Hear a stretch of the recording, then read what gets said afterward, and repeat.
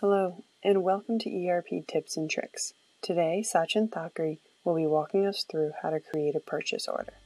Sachin will be breaking the process down into four easy to follow parts. The first one is the header. Take it away, Sachin. Good day, everyone.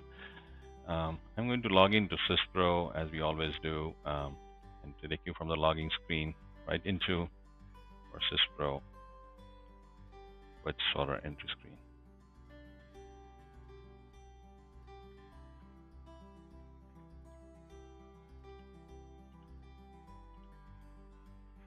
So this is the login page. You log in from here. That's the uh, initial logins in SysPro, what you normally do.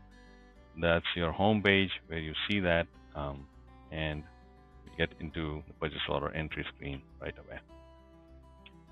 So today first we are going to look at the purchase order header entry. When you come to the screen, you will see a supplier because you are going to create a new purchase order. You will need to enter a supplier.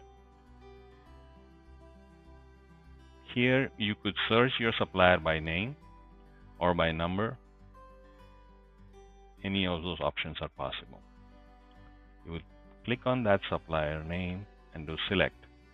The moment you do that, the supplier information will be auto-filled onto the header information. So the purchase order header, the supplier information, that's what, what is driven by the supplier master. So here you see the moment I enter that supplier, um, the purchase order date got defaulted, the due date is defaulted. Uh, you could always have a different due date default to be set up but by default it will take up the same date the the purchase order due date is purchase order date is um, other information on this header would be uh, if there are rates or if there are memo dates which you need to maintain you have some memos to be maintained in the purchase order you could do that. And have some dates for yourself uh, when to use that memos using the memo code but primarily it's more of a free free form field where you could enter text and you know have it uh, coded there. Other important field primary is the buyer. So buyer would be the person who is supposed to be buying or creating a purchase order for the supplier. So that would be your buyer.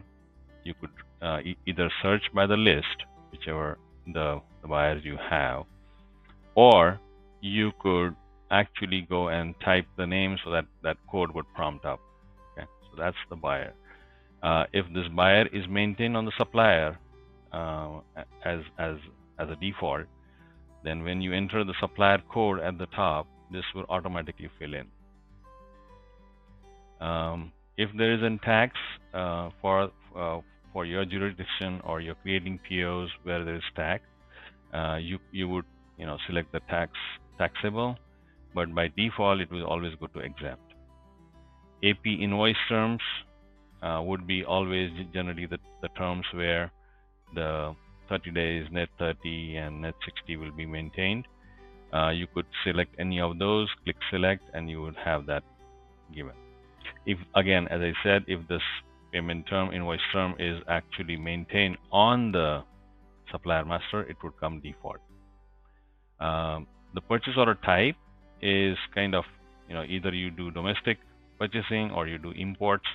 So there are the two types which are standard in SysPro which have been defined.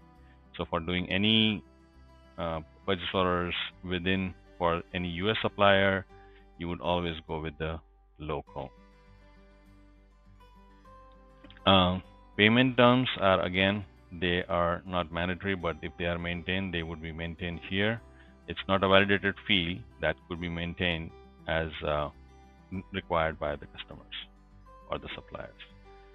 Um, customers and the customer purchase order number. This is if you want to reference your purchase order to any customer, then that's where you would enter the customer number, which is in your customer master.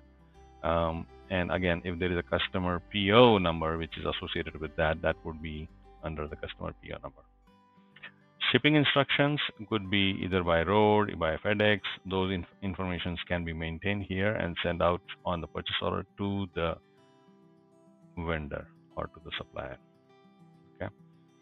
Uh, delivery addresses is where you would actually maintain that delivery address where you want this to be delivered and uh, select the delivery address uh, uh, you, you, know you, you, could if if it's not the default one where you're creating a purchase order you could go into the select option and see if you have multiple uh, purchase order delivery addresses. So generally it's the default the company address which you're seeing here or if there are multiple of those then there will be some maintained here. Like the one you see here is a different delivery address. So the moment you select that you that address will come up and you can save it. That would change the address here the delivery address and it, it's, it's for a different uh, location you are creating. On the right side here you you are seeing the supplier information this completes the first part of our process on how to create a purchase order with the header section.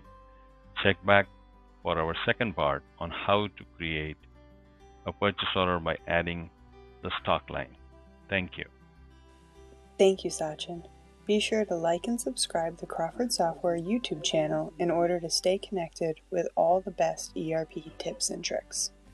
Thank you.